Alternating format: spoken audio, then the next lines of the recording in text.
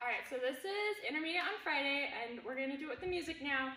But just to review real quick, I'm gonna do the arms in the beginning um, so that you can all continue to practice them. Because some of you I still feel like don't know them very well, and you get confused when you see everyone else doing their arms at different times. So I really want you guys to work really hard on this and know your count and know what arms you're doing, okay? And the heads, and get into it now, okay? So you have this perfect time at home to work on this little part that you don't have to move a lot, okay? So your first arm goes one, and you look away. One, this is two, this is three, this is four, and this is five, okay? So just go over that as many times as you need to to really get it in your head, okay?